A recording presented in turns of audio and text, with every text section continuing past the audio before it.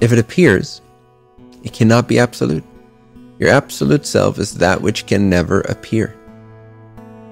Ever.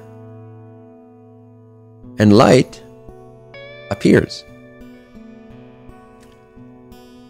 Make no mistake though, your first job definitely is to intensify the light. Intensify the light. Turn away from the movie and turn your gaze towards the pure, undiluted, formless light. The light of being, the light of I am. Because it is only at that origination point that you may realize that even the light has a source. Even light has a creator. Something that precedes the light, something that was there before the light appeared. And that is here now, infected as you. When you begin to really glimpse it, it is like the universe turns inside out. You realize you are that absolute. You are that unspeakable, absolute, infinite reality before awareness. Infinity. Awareness is the source of mind, the absolute is the source of awareness. Intelligence is the source of your everyday consciousness, and infinity is the source of intelligence. Mind wakes up to I am, I am wakes up to absolute. The purer you make that I amness, the subtler you go into that I amness, the deeper, the higher, the brighter you intensify that awareness of I am. From that state, you can jump into the absolute. Like a trampoline. The I am is the trampoline to the reality realizing itself, the infinity. That pure intelligence of consciousness itself, awareness itself, is the trampoline. It's the river flowing back into the ocean of the one.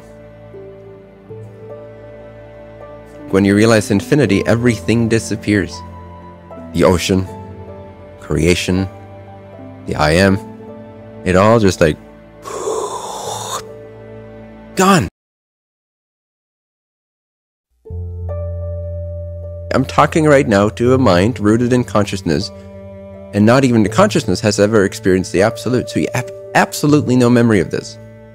And the only one that can jump, make this leap, is the I am itself. Or technically, it's you that makes this leap from the I am state, from the I am identification, the I am presence, the I am beingness. That you do remember, that you can access. Purify it until it becomes all that is, until it becomes godly, divine. And then inquire what's before this. What was before God? I am aware that I am. The I amness is not aware of the I, which is aware of the I amness. At an absolute level, you are already before God, you are before the higher self. Infinity. From the mind, you can only imagine it. From the I am, you can quantum leap into it. So make the I am your priority, and then realize that you are beyond the I am. You lose all form. You transcend all qualities of existence. Even Satchidananda. In the Absolute, it's not even a memory. You have no memory of Satchidananda. Of love, consciousness, bliss, light. Gone.